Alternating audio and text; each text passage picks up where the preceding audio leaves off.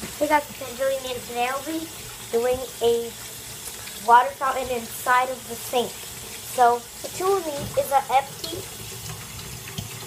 glass bottle like this. It's from a Malta Goya. And half of a coconut, like the little plastics. One plate and a bowl. So let's get started. So first you will need to put the coconut on top of that plate and let it fill up. And then you're going to take this water, I mean this bottle, and you're going to put it under the drain.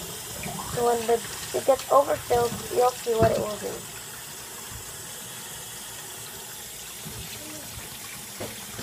So that's what it does. We'll show it to you. Just showed you it now. It looks so cool. So yeah, hope you guys liked it. Subscribe and comment below what you would like me to do next. Bye. And I'm sorry for my hair because it's early in the morning.